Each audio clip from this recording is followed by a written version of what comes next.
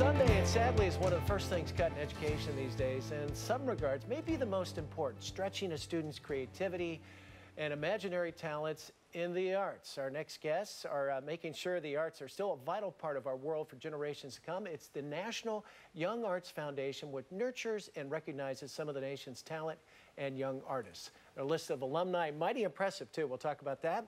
Pleased to have the nonprofit's Digital Communication Alumni Relations Director, Megan Harmon, with us, and a former National Young Arts student, Zachary Ostroff. How are you guys? Good. Great to have you here. Zach, we've been talking music here off camera. That's right. This started back in 1981. Yeah, 1981. Give our viewers a little thumbnail sketch of what you guys do. Well, we are, it's an amazing organization because it's the only national organization of its kind. But we, um, our whole purpose is to identify the next generation of artists in America so that we can keep arts alive. So we nurture them and support them with monetary awards. We help facilitate scholarships. Um, and we give them mentorships and master classes with world renowned artists.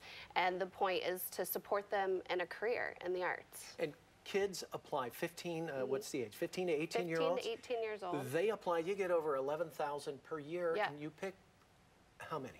We pick about 700 Mm-hmm. total winners, and the top 150, 170 of those come to Miami for a week of workshops, master classes, and performances. And Zach actually came to that week. We also have three regional programs one in Miami, one in LA, and one in New York. Um, and we also are the sole nominating committee for the U.S. Presidential Scholars in the Arts program, which was why we were founded, And actually. Zach was a recipient, Yeah. was he not? Mhm. Yes, he was. You're was. beaming over there. This has been a great program for you, huh? It's been an absolutely amazing program for me. 2011, Yeah. you become part of that, and Yeah. you're now at Stanford and sailing right along, right? Yeah, exactly. Not unrelated. yeah. You play a number of instruments, but bass is your baby, right? Bass is definitely my voice and definitely uh, something I consider a, a close sibling, maybe. Yeah. How, how did the Young Arts Foundation change your life?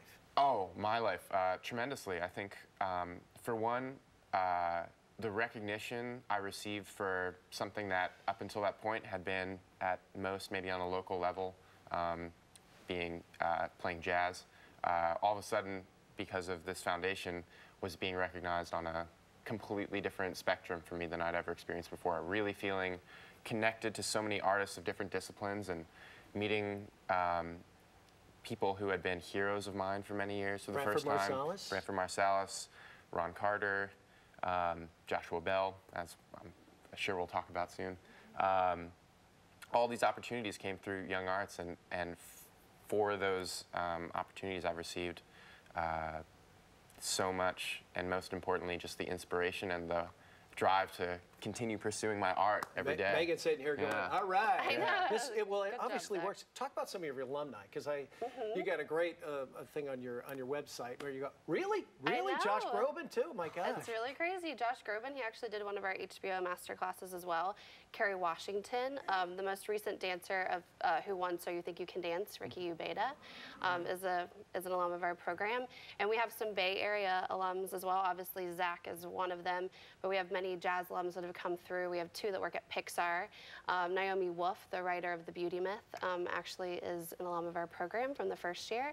Terence Blanchard, who is an artistic director at SF Jazz also one of our alums. So we have, you know, a lot of community here in the Bay Area with our artists, and we're excited to have more of that. So we're hoping more people apply. The deadline's October 17th. Now, you played at the Grammys, did you not? I did. You played at the Grammys, and you also got an HBO documentary coming out in October, right? Yeah, and that's you're a part of that. Yep, and the HBO documentary definitely came through the Young Arts program. They've got a series called Masterclass, which has uh, been a favorite show of mine for many years, and it was really amazing to get to do one of them. And Well- it's a, a program or a, a show that came out of a partnership between HBO and Young Arts. Oh, I could Yeah. talk to you guys forever. We're out of time, but thanks for Yeah, coming in. thank What a great so program, Much. We Zach. hope everyone applies. All the best at Stanford. If you'd like more information about the Young Arts Foundation, log on to youngarts.org, youngarts.org. That'll do it for this week's edition of Bay Sunday. We're back next week. Hope you are too. Enjoy, everybody.